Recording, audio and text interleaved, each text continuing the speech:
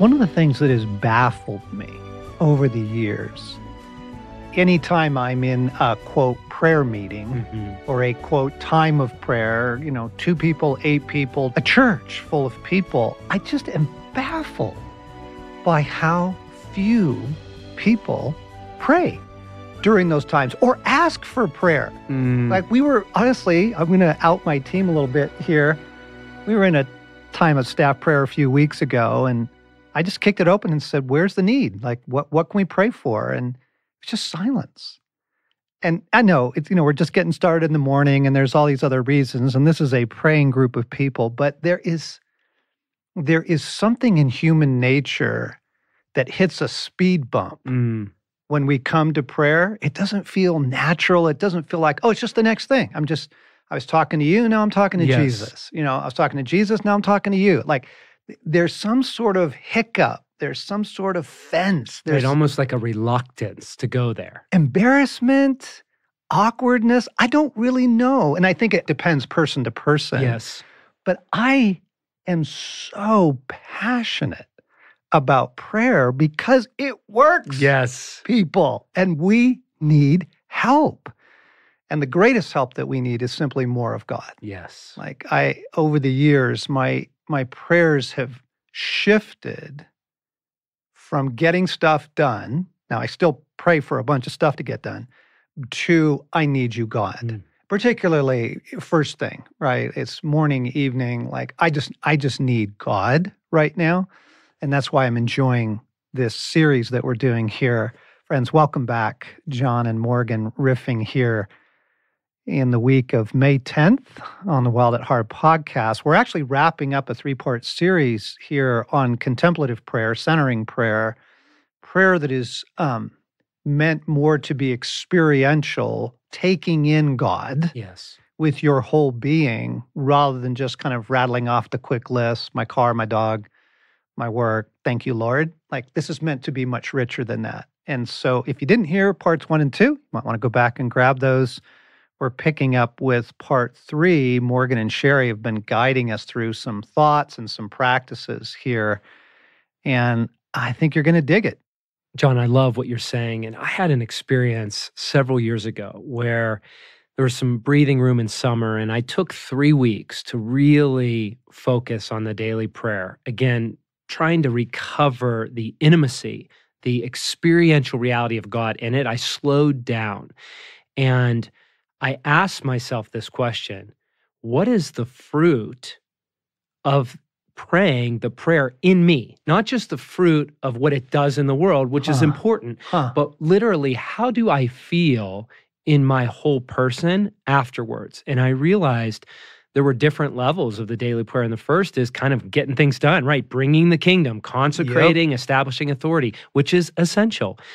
But deeper, there's an experiential reality. I think it's captured best in a quote from Peterson where he said, Prayer must first be about being and becoming before it can ever be about doing and getting. And in an efficient world, we charge the field with doing and getting when what God's after, first and foremost, is intimacy and increase of his presence in our life and therefore through our lives. And so, friends, yeah, we're really excited to bring you into this Become Good Soil podcast that we're featuring here at Wild at Heart, where I had the privilege of hosting Cherie, who's done a lot of work in this category over the last decade. And so we want to dive in into not only some ideas on contemplative prayer, centering prayer, but actually a third experience in the practice of this sort of prayer. And so, friends, welcome. Let's dive in. One of the things that is so important to keep at the forefront of our heart and our mind in this and in the Christian life is that we are always and forever in some ways beginners. That yes, we are maturing. Yes, we're growing deep. Yes, we are going after the deeper things of transformation in the kingdom. But part of the posture of an apprentice that keeps us centered in the reality of what God is doing and what He is like and how He is doing it is a posture of student. Scriptures say that I will be your father and you will be my son. That when the student is ready, the teacher appears. And so, one of the realities of kind of a worldview that we are impressed to keep at the center of our heart and mind is that we are always and forever beginners. This third episode, we dive into this reality because the practices can get clunky and they can be challenging and there can be setbacks. And that's why it's called a practice. But our invitation to you as our friends is to um, start with kindness, start with um, a posture of knowing that God is bringing something that's different, that um, has a different way, perhaps, of relating to Him and with Him than we have consistently before. So, with that, with a posture of kindness and accessibility, we want to take you into the third episode of a three part series for Become Good Soil on contemplative prayer. Cherie, just by way of um, illustration to, to keep it really accessible in observing your life in our 17 years together, one area of many that I've seen so much fruit born out of this practice, I would call it the practice of non evaluation, mm. where in our early years of marriage, often in a social environment, you would come home and spend an extraordinary amount of energy replaying the tape of how that experience was and how that conversation was, right? And I genuinely now, over time, see a pattern of you handling those experiences very differently. And it's not that it's not a temptation or even a struggle at times, but you simply do not have these depths of evaluation. Yes. Where you are your greatest critic. Yes. Can you just kind of speak on that a little bit? Yes. Morgan, I so appreciate your question because it really does, I think, help flush out the particular fruit for me. So, the metaphor I use personally to understand my ex- internal experience of this is that I have within me this problem solver. And if I understand correctly, as it relates to the function of the brain, there's a part of the brain that functions with very fast waves. They're, these the fastest ones are the waves, they're the beta waves of the brain, and they represent our problem solver.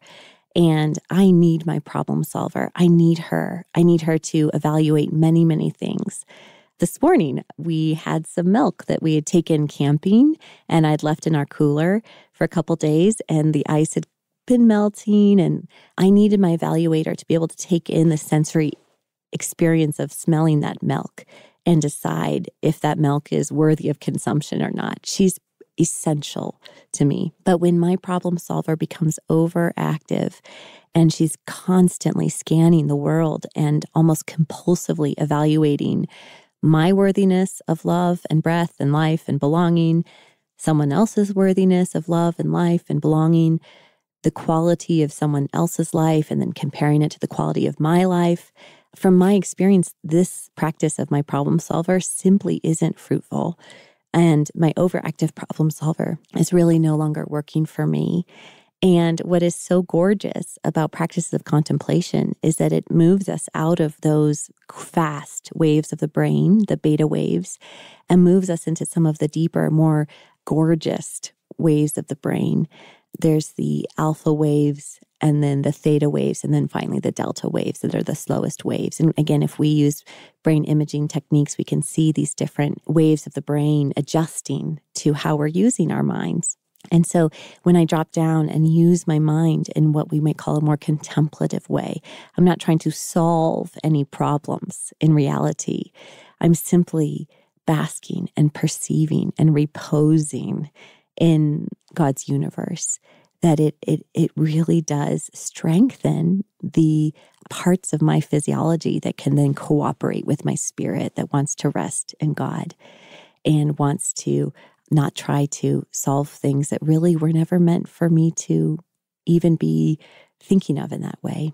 I was spending time with someone who, in the past, I've been so tempted to evaluate my life, my decisions in reference to hers and her life and her decisions, and evaluate how she's raising her kids. and compare it to how I'm raising my kids and just be so busy in my head with all of this evaluation. And about halfway through our time together, I realized I, I just hadn't even, none of those thoughts had occurred to me. I, I was simply enjoying myself without evaluating. Mm. And it was, it was just, I just wanted to, to leap up in the air and give a shout of joy. I just never ever thought, Morgan, that I could become the kind of person who could simply be present mm. instead of problem solving. And I'm so grateful and I want more. Cherie, it's so good. I've I've had the privilege of serving as a witness and over the years, and it's so hopeful to sit here and realize practical realization that people change, that, oh, that yes. the body can change, that our souls can change, that we can be integrated. Yes. We can be united with God in ever deeper measure. Yes. It is so hopeful. And as you said, it's very accessible. I mean, you you have my attention, and I'm sure right now you have the attention of many of our friends near and far. And so there's nothing like the practical. Yes. Um, take us into, okay, I'm open. I, I want the fruit of what you are describing yes. in this series. So we will get to practicing, but in your personal life, yes. How did you get started? How how do you practice? And I, I just want to say in compassion that our lives are very similar to our friends out there. You know, we we live in a Western world and we are full and even overfull and busyness and hurry sickness threatens us at every turn. Yes. And and so we're not talking about becoming a nun. Right. And we're not talking about some other life or something that happens yes. far away from our daily reality, right? I just want to be honest with that. We're yes. talking about something that is available yes. to everyone yes. that we're speaking with. How do you do it? Well, let me just for example, yesterday I found myself just pausing for some time of, for lack of better words, we'll call it meditation or contemplation, contemplative prayer in my car next to a dumpster because I had 15 minutes and I wanted to pause. So I pulled over and parked, happened to be next to a dumpster, and it just made me smile. So exactly, Morgan. It's and I. I so in your you're in your minivan yes. in the middle of suburbia, yes. in between errands and children yes. and work and your cell phone and yes. constant tax. Yes. And you choose to pull over next to a dumpster and spend 15 minutes yes. practicing. Yes. Yes. It's beautiful. You're beautiful. It's something like that. I, I love know. everything about you. oh, can I quote you on that? Mm-hmm. Oh my. So yeah, Morgan. Well, and and this is really beautiful and I I um have been so fortunate. I've had so many leaders and teachers who formed me. And there's, I would say, two primary ways that I practice this. And one is what I guess I just have been learning is classically called discursive meditation. And that's a meditation that intentionally engages my imagination, intentionally engages what you might call an imaginative, sensory, full person experience. Entering in, in this case, for me, in my practice, primarily to a scene in a scripture, an encounter with Jesus, and feeling it. This is part of our um, lineage with Lectio Divina the invitation to actually enter into a scene of scripture and feel temperature on our skin and taste bread in our mouths.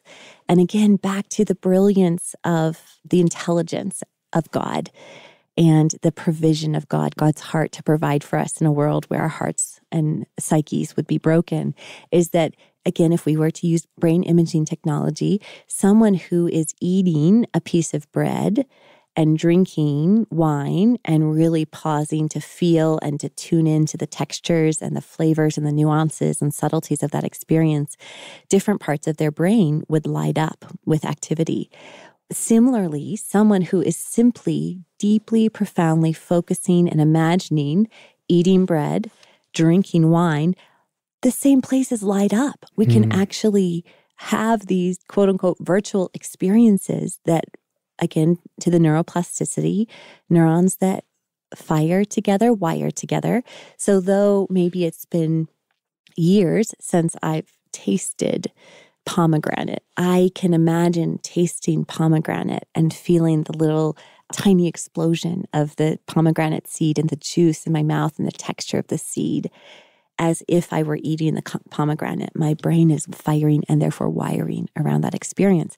So here has God made this possible for me, Cherie Snyder, in 2017 to enter into, through my focused imagination, to enter into first century Palestine, first century Jerusalem, and be with Jesus. So, that is a way that I would call discursive meditation. That was what I practiced earlier this morning. I was entering into um, the scene where, in Luke, where a woman comes and she is a woman, a sinful woman, quote unquote, who comes and anoints Jesus and ends up weeping over him and then kissing his feet, it says. And I was thinking to myself, who knows Jesus's feet? She knows them. She knows mm. the texture of his skin against her lips. And if I just enter in and seek to feel the warmth of his feet or the coolness of his feet or the texture of his feet as I press my lips against him, oh my goodness, that's such a sensory experience. And that is wiring my brain around the accessibility and the gorgeousness of Christ. The other way that I practice this is in what you might call the more of the vein of centering prayer, is Thomas Keating's word for it. I think that Teresa of Avila called it something like the prayer of silence.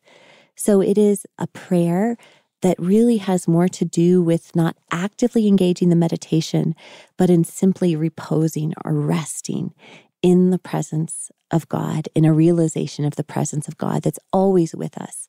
But perhaps in different moments in my day, I'm not yet practiced to be tuned into it and to be resting in it at all times.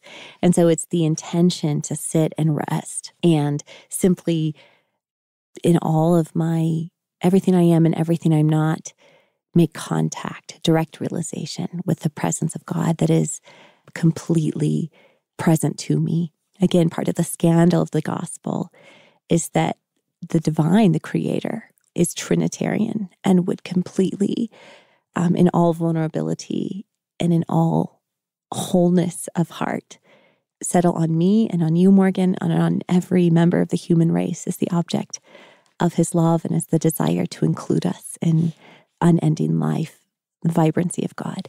And so oftentimes this is done through, as a way of staying present, is through using some sort of perhaps a single phrase or a single word that we repeat silently within our own hearts and minds to help us stay grounded in the present moment. And um, I have more to say on that, but those are my two primary practices. One is what I would call centering prayer, and the other is what uh, classically is called discursive meditation, or maybe we could call it a variation of Lectio Divina. Cherie, as you describe just the practicality of beginning one of the things I'm aware of in my own practice of this discipline, this activity, is all sorts of things come up, right? You you you set yourself before God and you start imagining.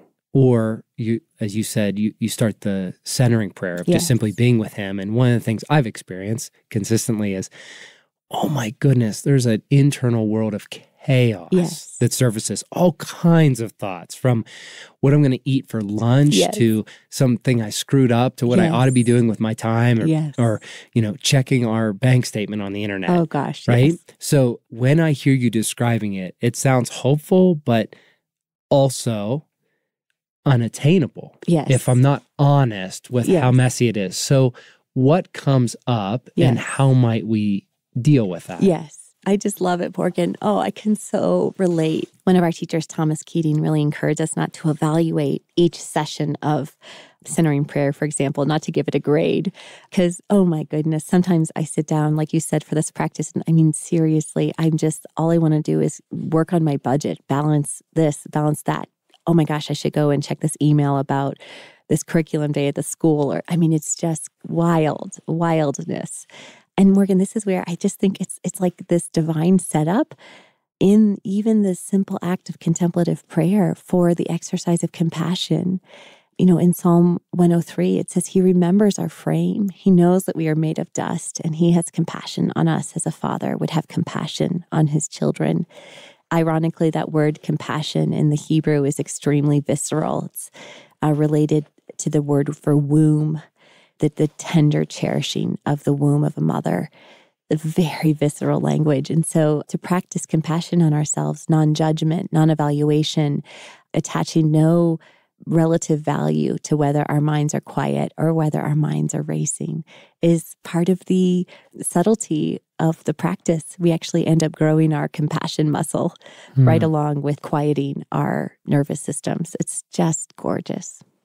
So Cherie, in that what I, what I hear you saying is one of the invitations of the gospel is rather than to chase everything with the evaluator in the sense of we are the judger of our lives because of God's grace, because the reality of his generosity and his constant intervention, we actually can pause and simply just observe that. We yes. can observe to go, wow, okay, there are a lot of other thoughts going on in my mind. Yes. And that's okay. That's just a data point where I'm not being uncritical of it. I go, okay, there are a lot of thoughts in my mind, and now I acknowledge it and now I release it. Yes. Yes.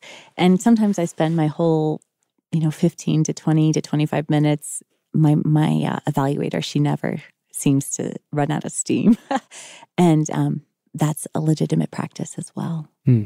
It's to be honored and valued. Yes. Friends, by way of practice, we'll turn a corner here in this final episode, reminding ourselves that it is always and ever practice, that it's not something that we come and sort of with this idealized self attempt to perform something, but we come in a spirit of practice, of curiosity, of inquiry and exploration, as if we were standing at the beginning of a trailhead heading into an unexplored canyon. And all of our senses are acute and turned on, excited, but without pressure, without expectation, simply ready to show up and experience whatever we encounter.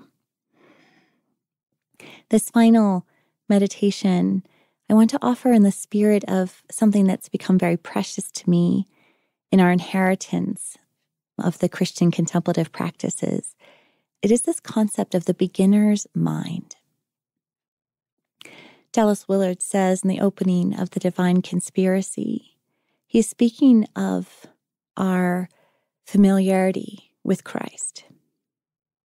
And he says that in time, it sometimes comes to pass that familiarity can give way to presumed familiarity, that presumed familiarity can then give way to unfamiliarity.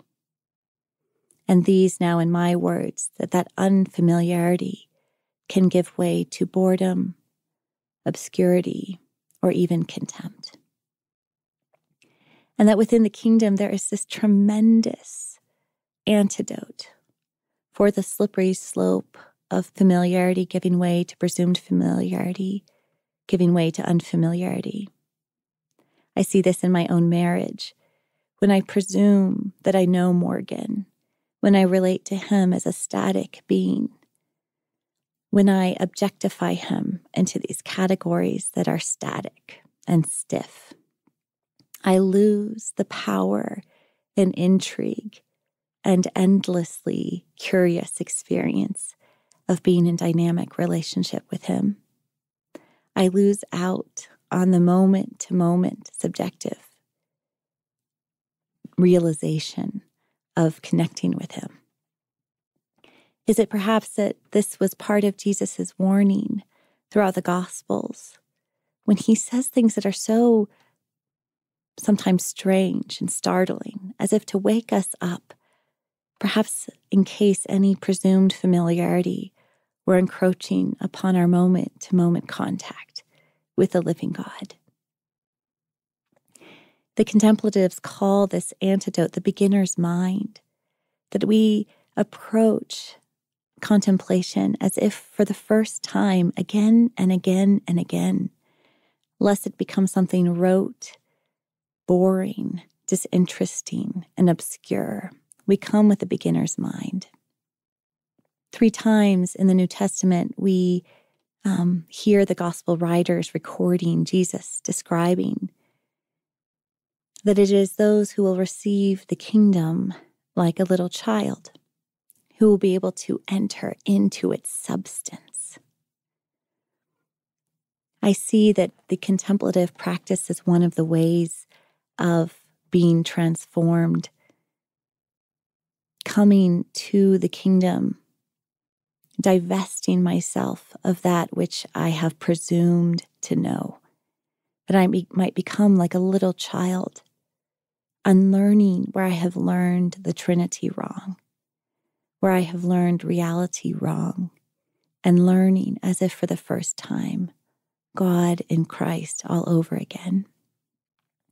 So, for this practice, we will practice the joy of coming into the unconditional love of God from a practice of childlike trust and awareness, cherishing the safeguard of a beginner's mind that will protect us from presumed familiarity, leading to unfamiliarity, leading to boredom, disinterest, obscurity, or contempt.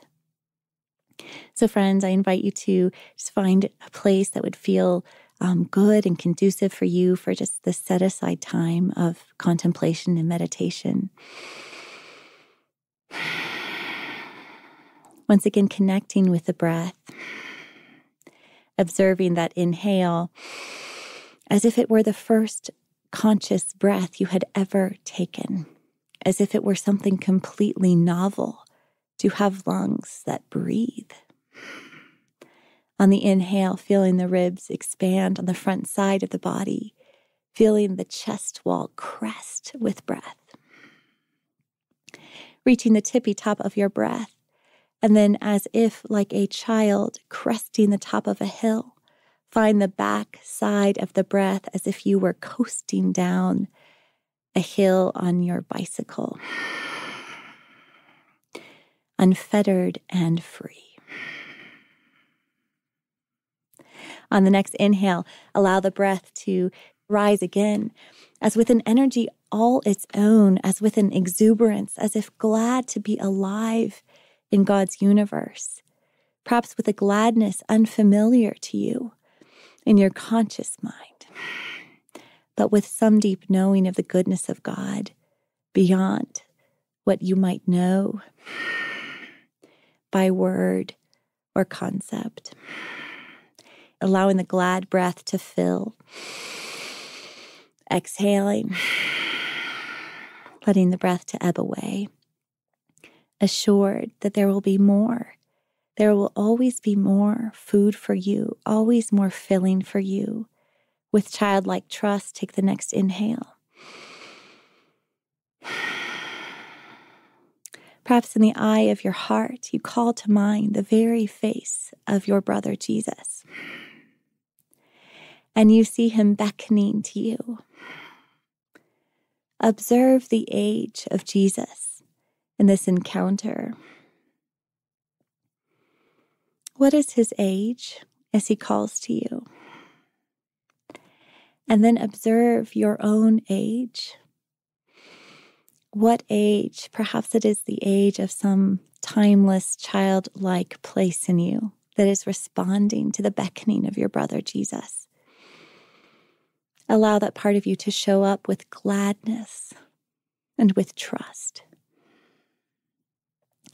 Perhaps you imagine your brother Jesus beckoning you. He's beckoning you. He's beckoning you. And you see and observe the joy and gladness and holy mischief on his face, as if there is some great goodness of which he is assured. And you find in your own face a response deeper than words, deeper than consciousness of gladness to be beckoned. Observe how you um, respond to Jesus. And then imagine it was irresistible, his beckoning, that the joy and energy of his countenance, of his being, was irresistible to you. And you found yourself responding with childlike trust that there was a goodness for you, an inclusion for you in the life of God.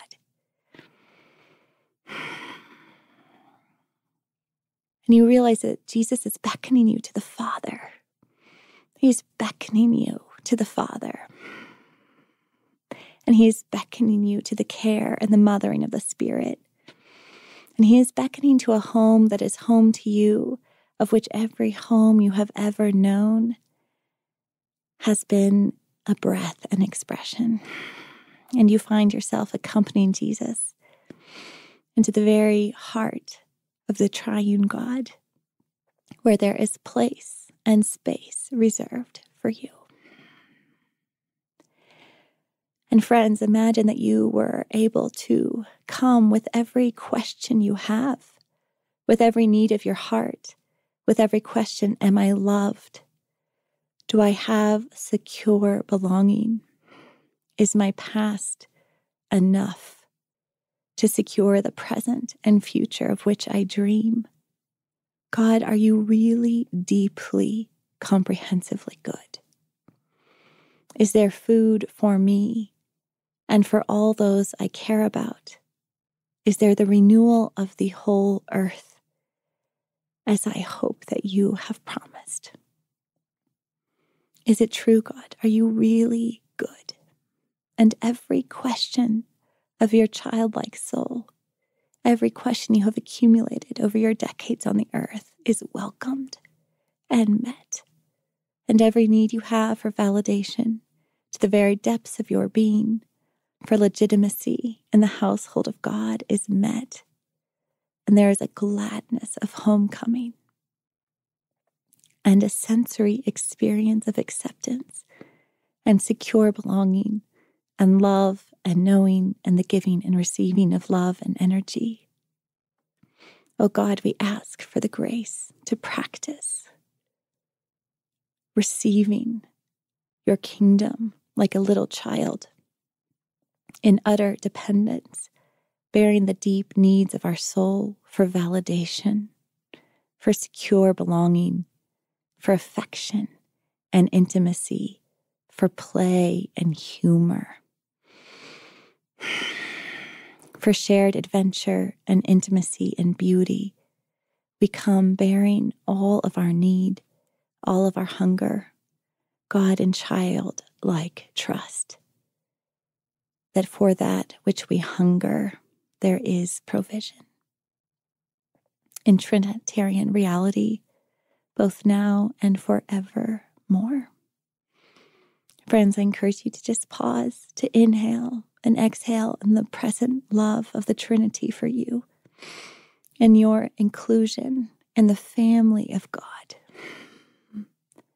in your place and space, safe in God's great universe, in the very heart of God. I invite you to linger for as long as you are able, finding rest and repose. Practicing childlike trust, though it might seem as if it's the most foreign practice to your soul that often feels ragged and cynical given the pain and disappointment of your life. We affirm the raggedness and we practice the childlike trust. Thank you, God, for this time. Send forth your spirit to our friends, to every heart that is listening, God, and to mine as well. Deepen our capacity to receive your kingdom as a child, to bring all of our hunger and all of our unavoidable need to your great heart and being and to the family of God. Friends, to close this time, consider just a few deep inhales and exhales. And if it would feel interesting to you or available to you, consider drawing your arms out to the side wherever you are on a deep inhale. And then on an exhale, on behalf of the God who loves you, and the incarnate one who pursues you, consider wrapping your arms around yourself, clasping opposite shoulder each one of your hands, and closing this time in a hug, settling the nervous system as we exhale and just squeeze. Inhale, consider bringing one hand to the heart and one hand to the belly. Exhale, and on behalf of the Christ who loves you, blessing your deep heart with all of his or her questions, and your deep belly with all of his or her need. In the name of the Father, and the Son, and the Holy Spirit. Amen. Friends, I hope that this has been meaningful for you. For many of us, it's a new way of getting into prayer. And in a busy world, in a hurried world, we need this. Just far too often, prayer is something I cram into my day because I need it. And there's stuff that needs God. But to breathe, stop, find God, as part of your overall prayer experience. And, there, and there's times to throw down, gang. there's times the quick little Jesus prayers in the car. Yep, absolutely. Help me, Lord. Amen. But to add to your quiver in your prayer experience, this form of, of reflective, slow down, enter in.